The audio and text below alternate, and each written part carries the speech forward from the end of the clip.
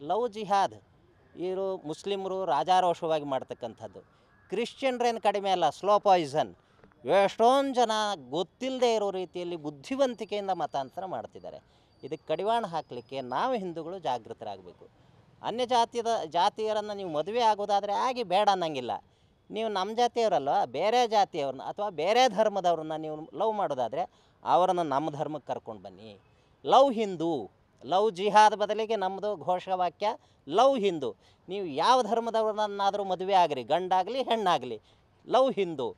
ಅವ್ರನ್ನ ಹಿಂದೂ ಧರ್ಮಕ್ಕೆ ಕರ್ಕೊಂಡು ಬನ್ನಿ. ಒಪ್ಪೋದಾದರೆ ಲವ್ ಮಾಡಿ ಇಲ್ಲ ಅಂದರೆ ಲವ್ ಮಾಡಬೇಡಿ.